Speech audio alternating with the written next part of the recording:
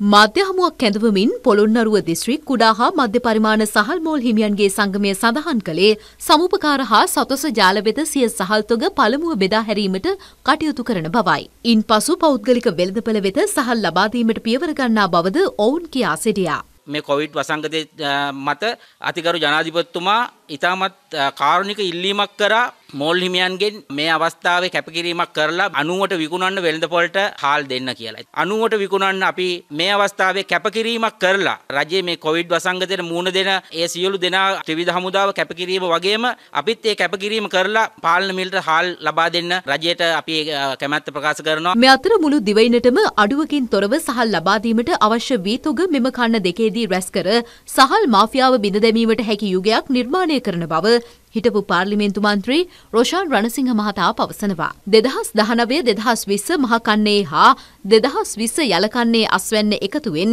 රට තුළ මාස පහළවාමාරක් සඳහා සහල් අවශ්‍යතාව සැපිරිය හැකි බවයි ඒ මහතා සඳහන් කළේ. සහල් තොග තියෙනවා අපිට මහකන්නේ පමණක් මාස 9මාරකට රටට සහල් දෙන්න. ඊළඟ යලකන්නේ මේට වඩා වැඩි අස්වැන්න. මොකද හේතුව පුරන් කුමුරු අස්සද්දලා තියෙනවා. ඒ වගේම පොහොර ඉල්ලීම ගොඩාක් වැඩි වෙලා තියෙනවා. යල්කන්නේ 20යි 20 අපේ ඉලක්කයක් තියෙනවා 2.03 මිලියන ටන්. මාස 6කට යලකන්නේ අවශ්‍යතාවයට සහල් තියෙනවා. එතකොට මාස් කන්නේ මාස 9මාරයි යලකන්නේ මාස 6යි මාස 15 මාරකට අවශ්‍ය වී තොග අපේ රටේ තියෙනවා.